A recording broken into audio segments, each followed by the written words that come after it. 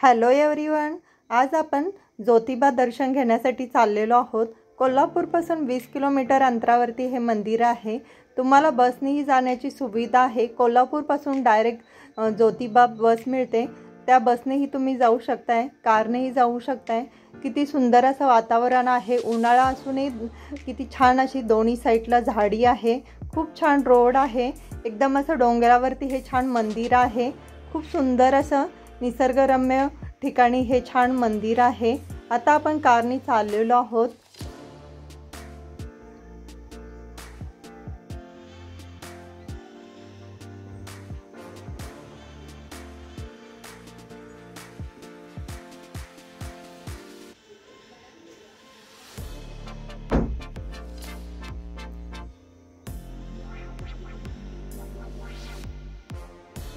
आता आपण मंदिरापाशी आलेलो आहोत. तिथं पार्किंगची सुविधा आहे. आपण पार्किंग केलेली आहे आता गाडी. आता आपण मंदिरात जाणार आहे.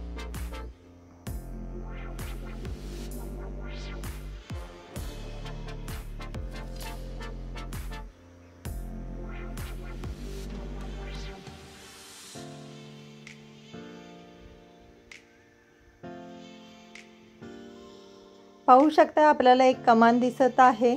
दख्खनचा राजा ज्योतिबा म्हणून लिहिलेला आहे.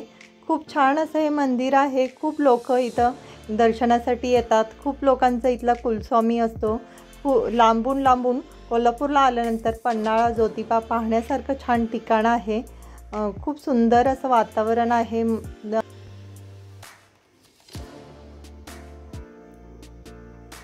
नेहमी या मंदिरात ग कायम गर्दी असते. कधीही आल्यानंतर ह्या मंदिरात खूप सारी गर्दी असते. प्रत्येक वेळी खूप भाविक इथं दर्शनासाठी येतात. पाहू शकता किती सुंदर अशी कमान आहे. अगदी छान अशी मोठी कमान केलेली आहे मंदिरात जाण्यासाठी.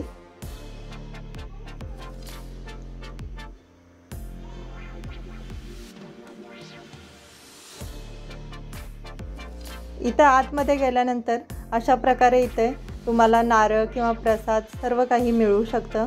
खूप सारे असे दुकानं आहेत.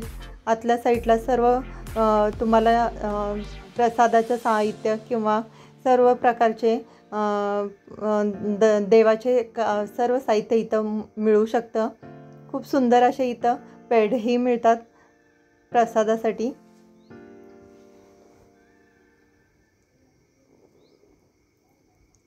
आता आपण म मंदिरामध्ये आलेलो आहोत.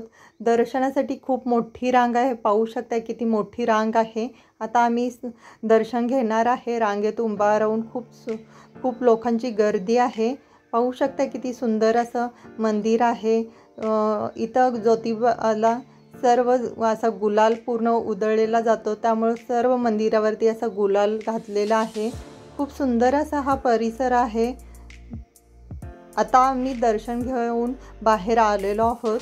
पाहू शकता आजूबाजूलाही खूप सुंदर असं हे सर्व वातावरण आहे. तुम्ही आलात की ह्या मंदिराला भेट द्या. कोल्हापूरपासून फार कमी अंतरावरती हे वीस किलोमीटरच अंतरावरती ज्योतिबाचं मंदिर आहे.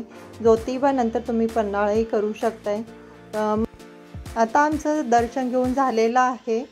खूप छान प्रकारे असं आमचं दर्शन झालेलं आहे.